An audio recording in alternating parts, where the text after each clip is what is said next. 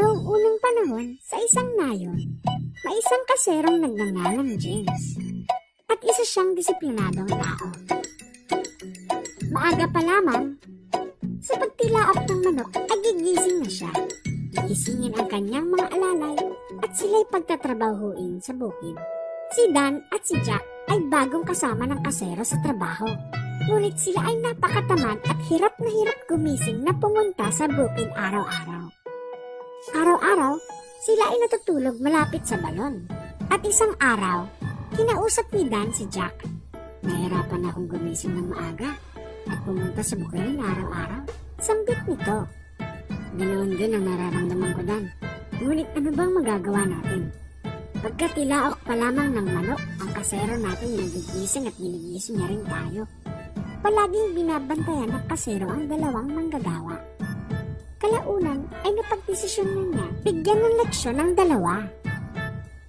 Isang araw, habang natutulog ang dalawang lalaki malapit sa balon, mayroon silang narinig na boses mula sa ilalim ng balon.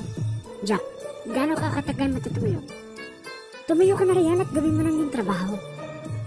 Narinig ito ni Jack at biglang nagising. Nang tumingin siya sa kanyang tabi ay tulog na tulog si Dan. Inakala niyang nagkaroon lamang siya ng masamang panaginip at muling natulog.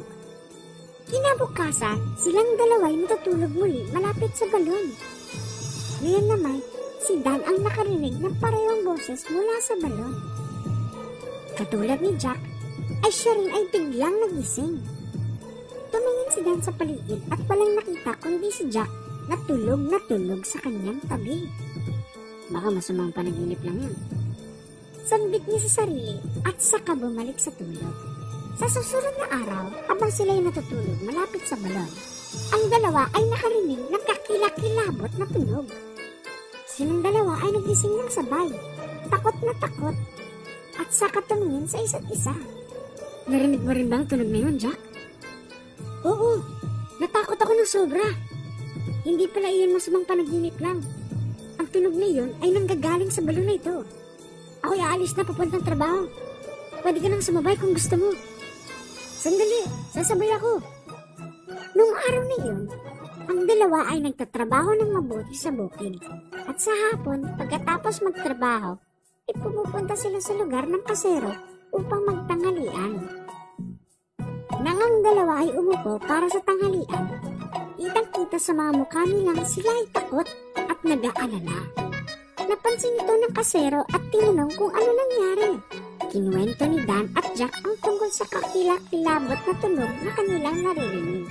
Pagkatapos nila magkwento ay tumawa ng malakas ang kasero. Hindi yon mahal ka o panaginip. Napansin ko kasi ang katamaran ninyong dalawa at gusto kong turuan kayo ng leksyon. Ako ang umupo sa tabi ng balon at gumawa ng mga nakakatakot na tunog na yun. Ngayon, naiintindihan Simula ngayon, isang tabi ninyo ang inyong katamaran at gawin ang inyong trabaho ng maayos. Simula noon, ay hindi na naging tamad sina Dan at Jack. Nagtrabaho sila ng mabuti sa bukirin at namuhay ng matiwasay.